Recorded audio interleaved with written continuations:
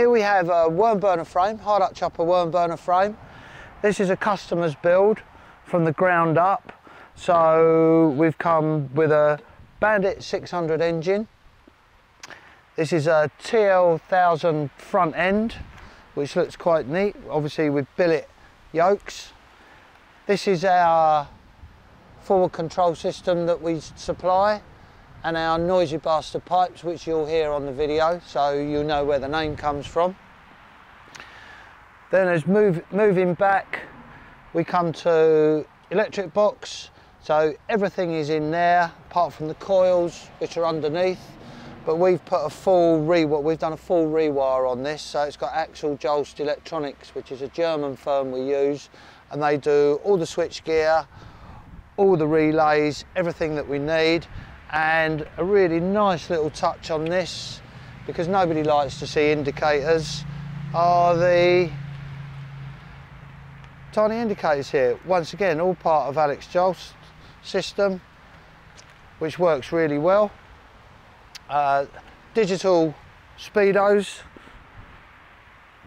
airbag seats. Now this one's different in as much as the customer wanted to take a pillion which is very unusual on these bikes, but she doesn't weigh much, uh, which is just as well. She's not going to have much suspension, but there is a set of pegs and we've put a sissy bar on just to take the extra weight for the rear wheel, for the for the seat for the passenger.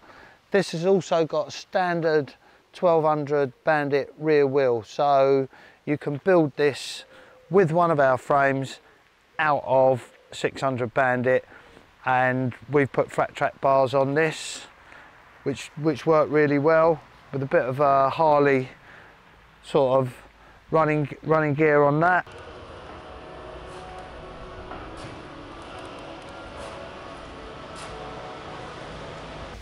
So I got our airbrush guru, Sammy, from SS Artworks and asked her to do a ghost skull on this tank, which she's done. Uh, which just sort of finished it off rather than just being black, but you've seen earlier on in the video how clever it is. So it's just a knot. I didn't want anything too in your face, wanted something nice and subtle. So I think she's achieved that, and who doesn't like a red skull on their bike? That's it. I think it's probably time to uh, get out on the road and take her for a run, don't you?